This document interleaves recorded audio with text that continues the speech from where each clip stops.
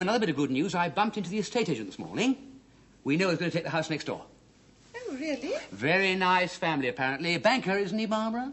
Oh, yes, yes. And um, I believe so. And his, his wife doesn't work apart from the odd charity dues.